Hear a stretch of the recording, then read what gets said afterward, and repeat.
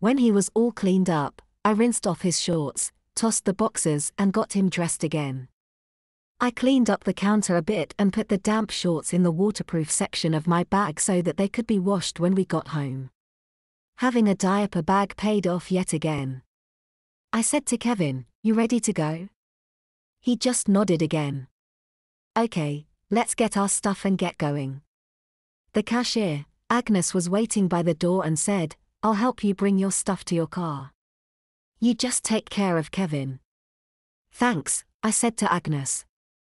Then to Kevin, You want to ride? He just looked at me, so I scooped him up and carried him on my hip out to the car. He cuddled the puppy the whole way. After I thanked Agnes for being so helpful, she said, Don't worry, sweetheart. I've had little boys with messy pants myself. Then she said to Kevin, Don't feel too bad about this, accidents happen. You'll see, you'll outgrow this by the time you start big kid school. I smiled at her, put Kevin in the car, our stuff in the trunk, and then headed off to the doctor.